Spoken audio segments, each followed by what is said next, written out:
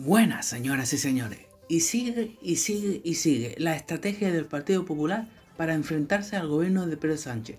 Si hoy todos los medios de comunicación palmeros del PP están aplaudiendo el discurso de Núñez Feijóo contra Pedro Sánchez en el Congreso, todo ese discurso de Núñez Feijóo se derrumba con otro balón de oxígeno que le da el PP al PSOE al reunirse el diputado del PP Esteban González Pons con el ministro de Justicia Félix Bolaño y para darle el toque mágico con el comisario de Justicia Europeo Didier Reyder para ser de mediador para desbloquear la renovación del Consejo General del Poder Judicial. Pero este Partido Popular sigue haciendo lo mismo desde que empezó la legislatura, manifestándose los domingos y haciendo intervenciones en el Congreso criticando al gobierno de Pedro Sánchez. Pero después no le hace asco a reunirse y llegar a acuerdos con ellos. Ya le aconsejó el líder de Vox que no se reuniese con el PSOE para la renovación del Consejo General y que se unieran a ellos para ir con todo contra el gobierno.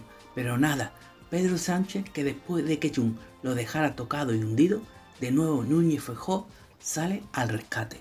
Se ha hecho viral la foto de Félix Bolaño con Esteban González Pons y entre ellos el comisario europeo, pero esa foto es más que una foto, porque en ella se puede ver la humillación del PP ante el PSOE, que a su vez está siendo humillado por los partidos separatistas, por lo que es una foto vergonzosa. Y lo que deja más claro es que el Partido Popular quiere salvar a Pedro Sánchez y que vuelva a la época del bipartidismo. Por eso los dos partidos se quieren quitar de en medio al partido de Santiago Abascal, porque es la alternativa a este nefasto bipartidismo. Así lo ha dejado claro Vox en su cuenta oficial en la red social X escribiendo, es desesperante ver al PP salir siempre al rescate del PSOE.